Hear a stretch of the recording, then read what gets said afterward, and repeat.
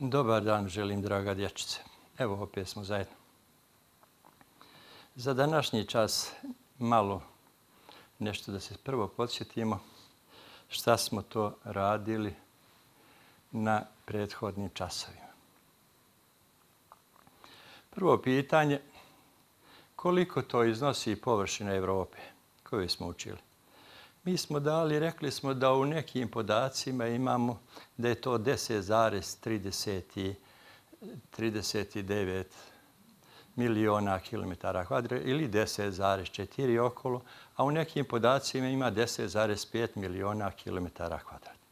A na tom prostoru da živi nešto preko danas 700 miliona stanovnika. Položaj Evrope najbolje nam ilustrira karta svijeta, ali ja ću danas samo dati da ponovimo malo granice. Rekli smo što se tiče položaja da naša Evropa zauzima centralni dio što se tiče svijeta, jer spaja stari svijet sa novim.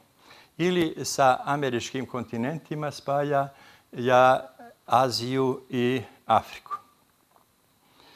Granice Evrope, ja ću isto danas ponoviti, znam da ste vi to mrljivo odradili, pa ćemo ovako po jedan, vidite i sami, masiji planine Ural koja se pruža od sjevera ka jugu.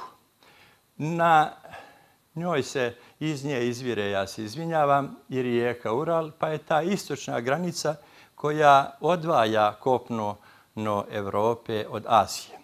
Granica dalje ide Kaspijskim jezerom ili morem, a onda ovo po četiri planina Kafkaz, pet Crno more i onda dolazi do Moreuza Bosfora gdje je prikazan brojem šest, a sedam je Mramorno more i osam je Sudardaneli Moreus i na devet, devet ovaj broj ilustrira da je Egejsko, da izlazimo na Egejsko more. Drugim riječima, na južnu granicu, koja je Sredozemno more, gdje preko Gibraltarskog moreuza prelazi u Atlantski okean, koja je i ujedno i zapadna granica Evrope. Na sjeveru smo rekli da je sjeverni ledeni okean. Kako smo naglasili kontinente starog svijeta čine naša Evropa, Azija i Afrika. Drugim riječima, oni nama evropljanima poznati do, do ovog 15. vijeka ili do srednjeg vijeka, e kasnije geografskim otkrićima kada su pronađene zemlji kontinenti Sjeverna i Južna Amerika, kasnije Australija i tako dalje, to su novi kontinenti i koji čine nove kontinente. A vidite, a Evropa naša se nalazi baš između ta dva i starih i novih kontinenta, pa je naš položaj jako povoljan. Danas sam za vas pripremio jednu mnogo lahku lekciju, ali zanimljivu, o razuđenosti obala. Kao prvo, ja ću ovdje da podsjetim na onu činjenicu koju smo dali da je Evropa u stvari kad pogledamo fizički ili onako prirodno kad vidimo samo jedan najveći poluotok Azije. Pa samim tim i govori, a znate da su poluotoci, otoci, zaljevi i sad koje ćemo pomenuti, moreuzi i tako dalje, da su to u stvari oblici razuđenosti. Pa drugim riječima, eto, sama Evropa je poluotok ili, ili da je u stvari oblik razuđenosti. Odmah možemo da kažemo da je Evropa u stvari i najrazuđeniji kontinent na svijetu. Ali prije toga da vidimo šta je to obala. Šta čini obalu? Obala je onaj dio gdje se spaja drugim riječima kopno i more. Šta podrazumijevamo pod razuđenosti obale, i to je mnogo bitno da se podsjetimo i da vidimo. Ako uzmemo obalu kao pravu liniju, onda kažemo da je ona nerazuđena. Ali nijednu niste primijetili kada ste bili na moru ili bilo gdje ovako kad pogledate vaše atlasi i karte, primijetite da malo ili rijetko ima tih pravih linija, da uglavnom odstupa od prave linije. E baš to i jeste razuđenost obala. Odstupanje obale od prave linije. Obale Evrope, ja ću vam sad dati jedan podatak, koja se računa da naša mala, tako 10,5 miliona, ako zaokružimo, kilometara kvadratni, a ima 40.000 kilometara dužinu obale. Drugim riječima, obala Evrope kao obim zemlje oko ekvatora. A time, ja i uzima se taj koeficijenat razuđenosti što se podijeli ova prava obala sa onom koja bi bila prava ili da uzmemo da, da su prave linije i onda dođe nešto oko 3,1 koliko beše Evrope i po tome je i najrazređenija. Koji su oblici razuđenosti? Mi smo o tome malo radili, učili, pominjali, ali danas ćemo samo malo da vidimo za našu Evropu. Pronađi na karti Evrope ivična unutrašnja mora, moreuze, zaljeve, otoke, poluotoke, otočja. Onda šta su to fjordovi, klifovi, šta su estuari?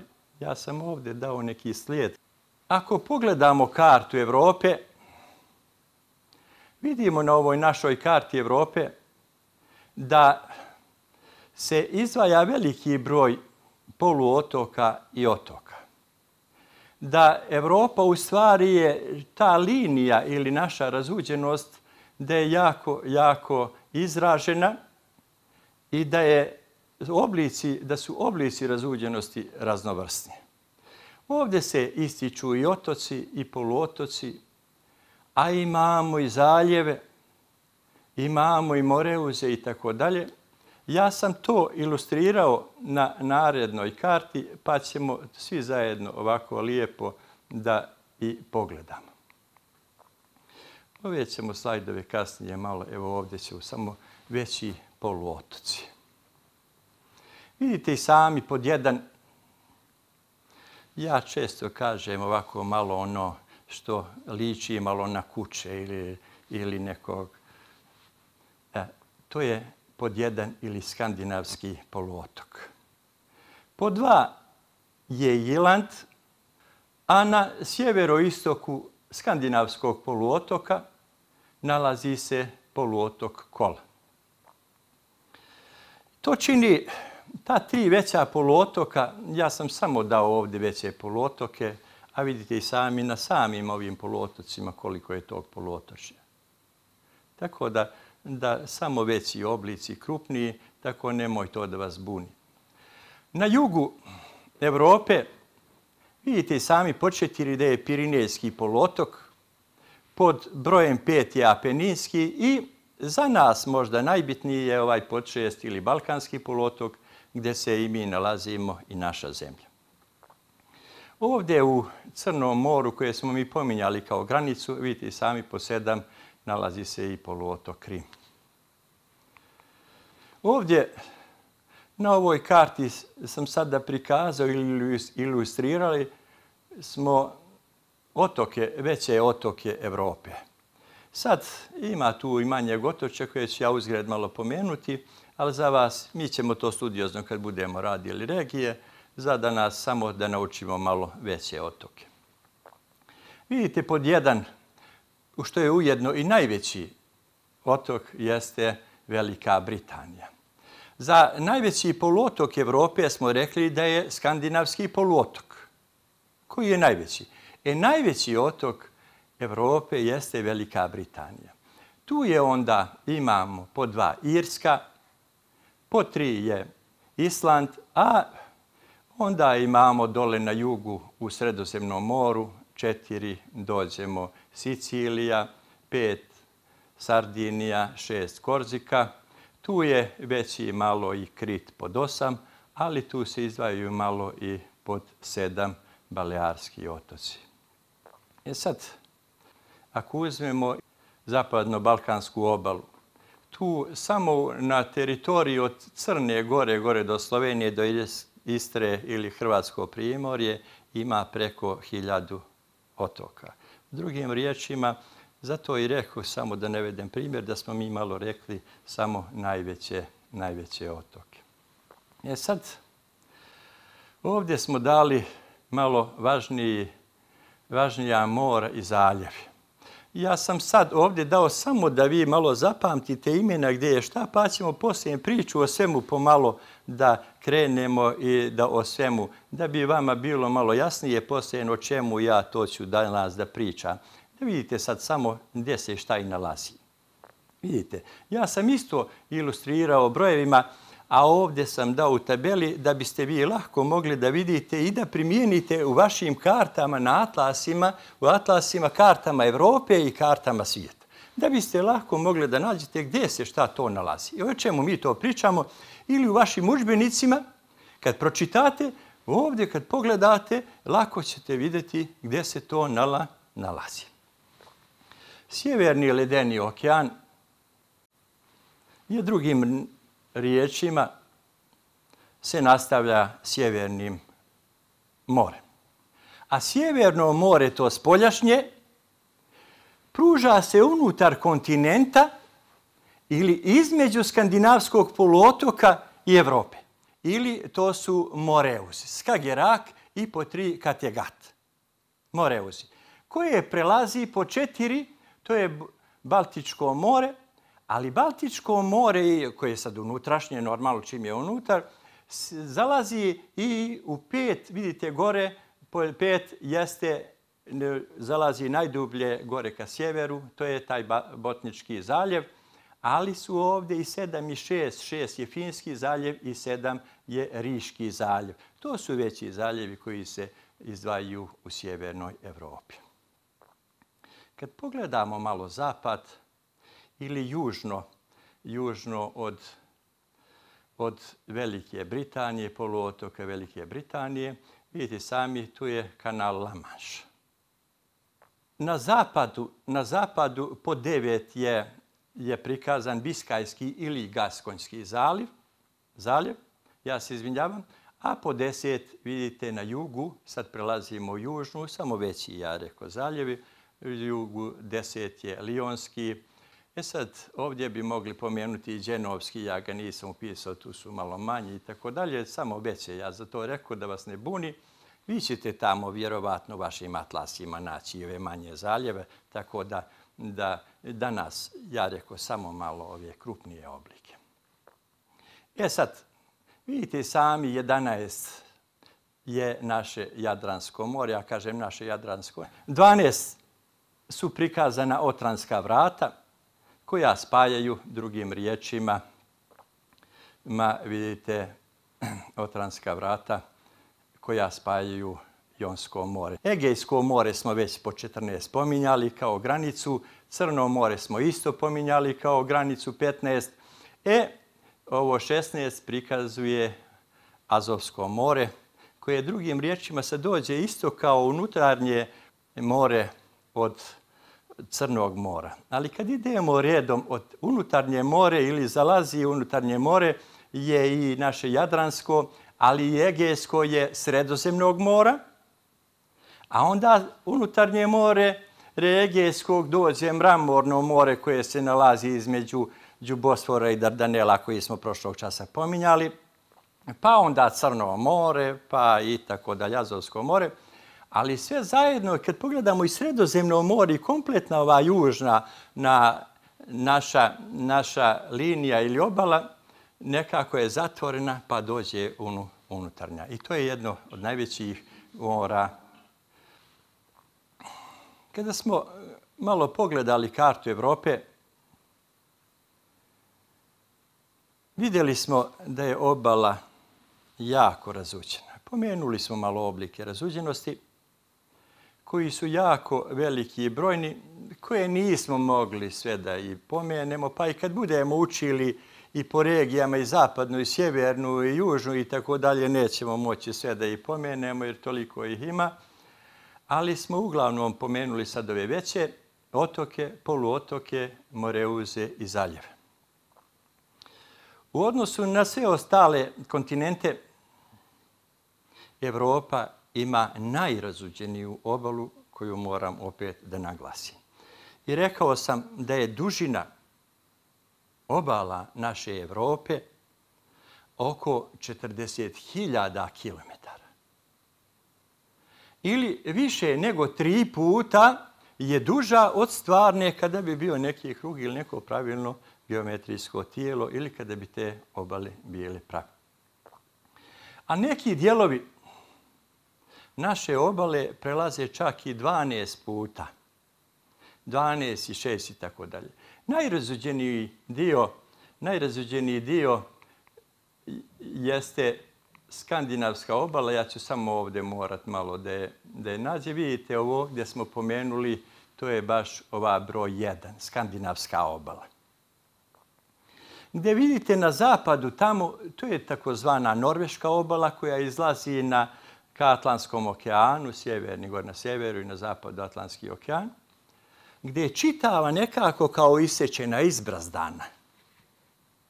To su u stvari lednici, kada se otapali, oni su polako kako su išli, ona njihova va, mjesta gdje se otapali kako su išli, pravili te lagune ili uvale i tako su lijepo i lahko brazdali. Čak šta više, ta obala spada i u najrazuđeniju, stvari je najrazuđenija obala svijeta. Takvo nešto još samo imamo slično u Sjevernoj Americi, nešto malo, ali u svijetu je karakteristična i jedinstvena. Ja sam se namjerno malo vratio na ovu obalu skandinavsku da opet je malo zajedno pogledamo. A sad vidite ovdje erozivnim radom lednika što pomenuh u tom priobalnom sjevernom dijelu Sjeverne Evrope, skandinavskog polotoka, u dijelu Norveške, to takozvano izbrazdano, iscijepano, izderano kopno ili uski zaljev koji poput rijeka duboko zalazi u kopno, a nekad i dublje od 200 km.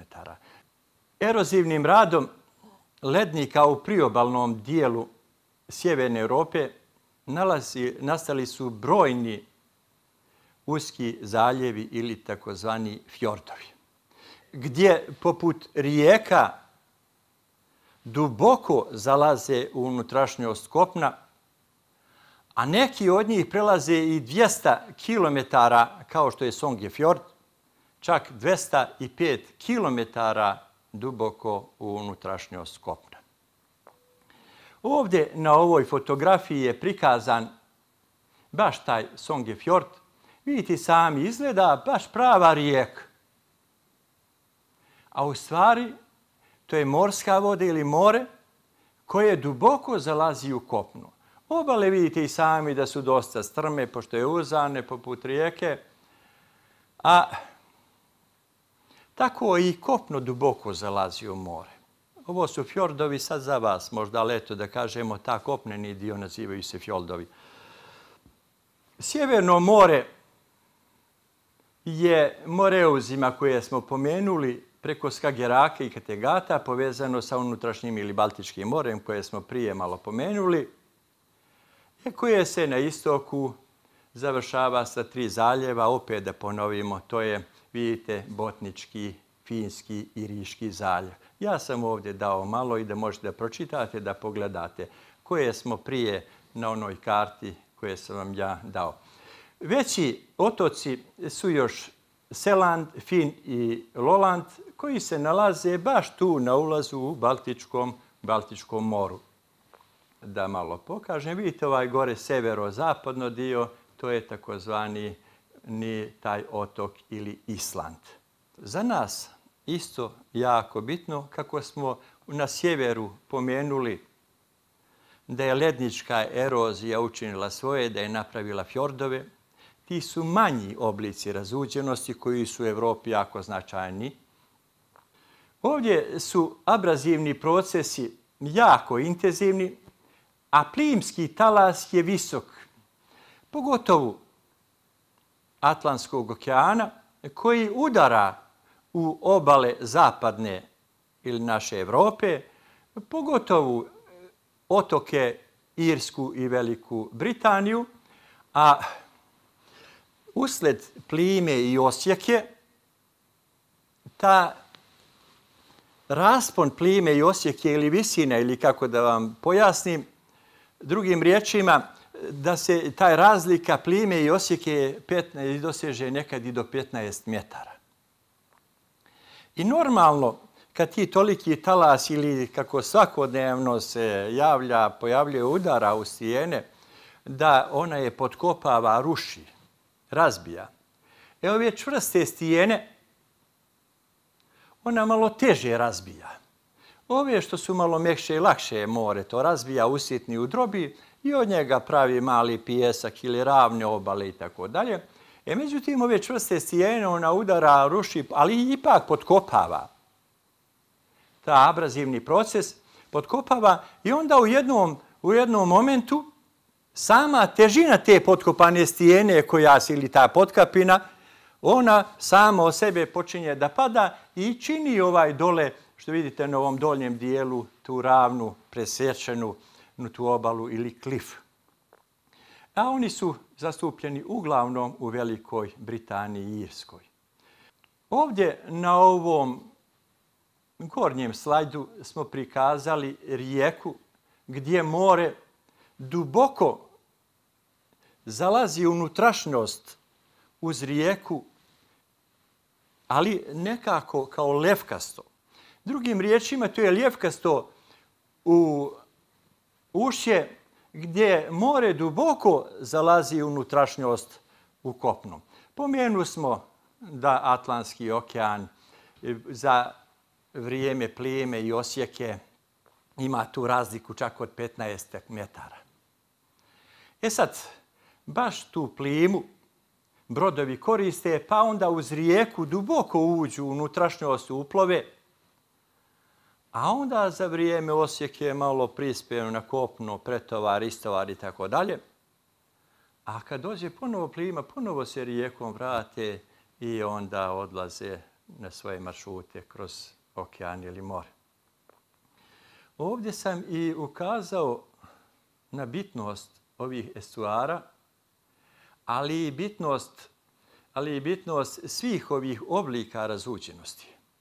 Jer vidite sami gdje je otvorna linija kao ova zapadna, vidite i sami ovdje na ušću ove rijeke ili ovog estuara, gdje je obala skoro prava, pjeskovita. I logično da tu svaki brod, ako prispije, je bojazan da u tom pijesku i ne ostane, pogotovo za vrijeme osjeke, ako se povuče, on ostane na kopu. I to bi mu bilo otprilike postajeni grobnica. Zato su ovi oblici razuđenosti jako bitni. Jer obala, da li je pristupačna ili nije, je Evropa kompletnu obalu ima jako pristupačnu i jako je, jako je, jako je razuđena, a ti oblici razuđenosti nam baš govore o tome da možemo lahko da pristupimo obali ili iz nje da isplovimo. Priobalni dio južne Evrope je posebna priča. Odlikuju je tri velika poluotoka na zapadu. Mi smo te otoke pomenuli, jeste Pirinesku koji je ovdje dao Pirinejski poluotok, a Peninski ova čizmica, kao ženska čizmica, vidite sami tako nešto asocira i izgleda. A naš Balkanski poluotok ćemo kasnije malo dati. I vidite dole ovdje je ovaj Gibraltarski Moreus. Gde ovo gore na severu Evropsko kopno, a ovamo dole je Afričko kopno, drugim riječima, gdje otprilike samo jednu 14 km se naše Evropsko kopno od, od, odvaja od Afričko kopno. Gibraltar je i posebna malo priča, jer su obale onako strme, oni klifovi koje prije pomenu smo, pa su stari, stari pogotovo ovu, ovaj, Feničani, Grci i ostali narodi koji su defilovali kroz sredozemlje, tu je bila i uglavnom do tu tačka. Dalje, tamo je bio ono kraj svijeta, nije se smelo, nije se moglo, e, propasi i tako dalje, i do tu se išlo, a ti su im subovi nekako izgledali ogromni, jaki, kao Herkulovi, pa su im tako i dali ime Herkulovi subovi. I sve je to tako bilo do, do 711. godine. Kada su Arapi došli na tom području, oni su ovom Gibraltarskom moreuzu i dali, i dali naziv Gibel Tarik, što u prevodu znači Tarikovo brdo. Današnji je od tog Gibel Tarik uglavnom izvedena pa se kaže Gibraltar. E sad, ćemo malo da idemo od ovog Gibraltara, idemo malo dole kroz našu južnu Evropu, dođo smo do Balkana. Vidite ovdje ovaj poluotok pod pet ili Apeninski poluotok, gdje se na njemu nalazi dole na ovoj čizmici ispod Sicilija, dođe kao futbal. Eto, ženska čizmica šutira neki futbal ili Sicilija, da se najbliže ispaja sa dole Afrikom. I ona dijeli sredozemno more na zapadno, drugim riječima koje se nalazi između Gibraltara i Pirinejskog polotoka i Apeninskog polotoka. Odvaja sredozemno more na zapadni i na istočni dio. Zapadni dio od Apeninskog polotoga do ovog četvorka gdje je, gdje je Pirinejski polotok ili do Gibraltara je taj zapadni dio, a ovamo istočno je istočni. Priobalni dio Južne Evrope odlikuju tri velike poluotoka i brojni otoci. Ivična, unutrašnja mora i zaljevi. Obele su ili niske i pjeskovite,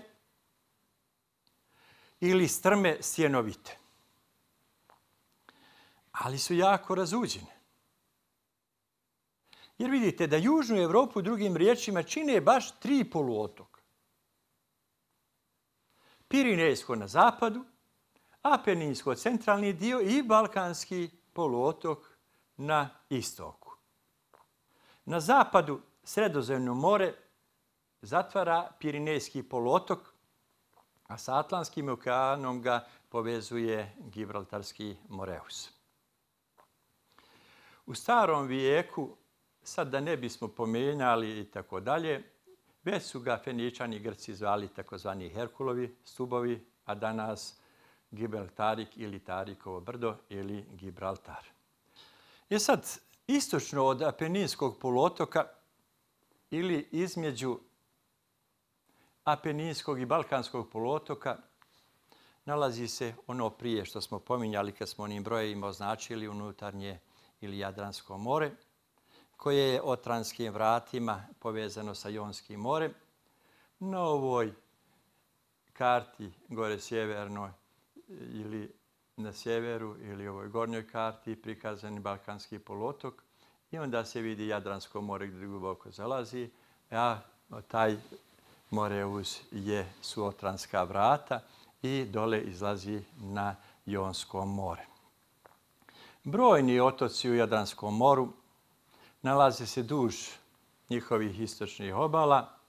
Ja pomenu prije samo Hrvatska obala, Crnogorsko-Hrvatska ili ova, ova istočna obala Jadranskog mora ima čak preko hiljadu otoka. Tako da je, da je jako, jako razuđen. Ali na ovoj karti se ovdje bolje uočava ovaj dio gdje se nalazi, vidite i sami, gdje smo pominjali ovo Egejsko more, Vidite i sami koliko se samo tu otoka nalazi. Pa ćemo onda, vidite, Jonsko more se nalazi nekoliko većih otoka, među kojima su i najpoznatiji, najpoznatiji krv. A krv je i malo historijski, malo poznat. Istočno od Balkanskog polotoka u Egejskom moru, koje pomenu, veći otoci su, to su uglavnom danas otoci koji pripadaju Grčkoj, Tasos, Ebeja, Lesbos, Rodos, a i neke manje grupe ovog otočja, kao što su sjeverni sporadi, kihladi i južni sporadi. Najjužniji je otok Krit, koji je ujedno u ovom dijelu i najveći. E sad, kad idemo od ovog otočja, nailazimo na Moreus Dardaneli koji smo mi pominjali, na Moreus Dardaneli, a koji je sad unutarnje nje more iza njega slijedi, to je Mramorno more, pa onda Bosfor i onda Crno more. A Balkanski, znači istočno od Balkanskog poluotoka, nalaze se veliki broj tih unutarnjih mora, koji od Egejskog mora zalaze duboko u unutrašnjost, u unutrašnjost kopna, a to onda možemo i ovako, kao što sam ja poređao prije rekao, preko, ja se izvinjam, Egejskog mora zalazimo u Dardanele, a preko Dardanela Mramorno more, a onda Bosforom idemo ka Crnom moru. U sjevernom dijelu Crnog mora je isto bitno da napomenemo da se nalazi taj dio isto Crnog mora ili Azovskog more, a taj mali uzani dio ili Kečerski, taj zaliv spaja ova dva mora, a oba su unu, unutarnja. Ja bih još ovdje naglasio ili malo napomenuo još možda važnost sami ovih razuđenosti obala i zbog čega smo sve mi to učili. Kad pogledamo ovu kartu, vidite sami ovdje, evo bilo koji od ovih karti, nije bitno sad, vidite sami da je čitava nekako rascijepana i cijepana, ali sva ova unutarnja mora su jako mirne. Jako su dobra, fine za plovidbu. Pa je tu živa razmjena. Inače, a i su zanimljiva danas te, pogotovo obale koje danas u pjeskovite na jugu, gdje je sredozemno more, sredozemna klima jako prijatna. Te pjeskovite su obale zanimljive za, za turizam, a turizam opet ne može da se odvija ako ne može lijepo i lako da se priđe. Drugim riječima i čitava privreda zavisi, tako da je mnogo bitno da su obale razuđene da može lako da se priđe i da se od njih, od njih ode. Tako da su razuđenost obala jako bitna. Na današnjem ovom predavanju ja sam malo sastavio par pitanja koja će biti lahka za vas i za vaše odgovore. Mi smo ovdje i dosta dali odgovore sve. Ako se pratile imate tu. Pa na ovom zadatku koristeći atlas pored navedenih Moreusa napiši koje vodene površine povezuju. Gibraltarski Moreus, šta povezuje, šta povezuju Dardaneli, šta povezuje Bosfor, šta Doverski kanal, šta Lamaš i tako dalje. Evo ovdje smo možda trebali pomenuti Kečerski, ali eto, izostao je i to vam je za domaći. Ja se nadam da ste uživali, da vam nije bilo naporno. Odradite marljivo domaći. Vidim da dobro radite po reakciji kako, kako reagujete. Možda vam je ova prelaz na nekog novog ili drugog nastavnika malo specifičan, a i ovaj vid verovatno vas malo zbunjuje, ali to je što je, verovatno bismo lakše i ljepše se snalazili da smo pred kartom i da smo učionici, ali to je kako je. Ja vas molim, budite dobri koji do sad i vidimo se u zdravlju i rahatluku narednog časa. Doviđenja i prijatno.